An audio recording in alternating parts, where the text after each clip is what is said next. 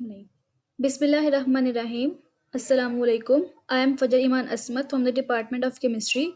My ID is 11 and the topic we are going to discuss today is the important name reactions. First of all, we will discuss the Cadiot-Chodkiewicz coupling.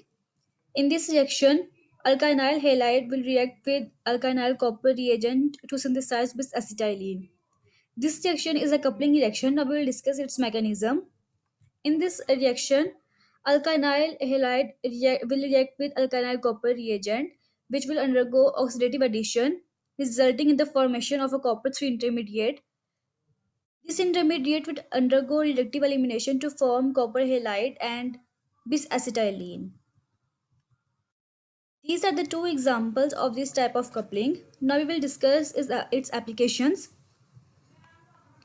Unlike the related Glaser coupling, this coupling proceeds selectively and will only couple the alkyne to the haloalkyne. It will give a single product. By comparison, the Glaser coupling would simply produce a distribution of all possible couplings.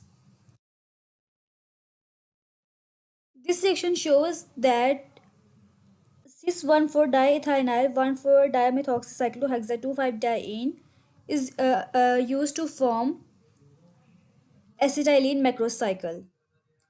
This material uh, also undergoes a reaction in the presence of silver nitrate and under 25 degree centigrade temperature to form N-bromosuccinimide.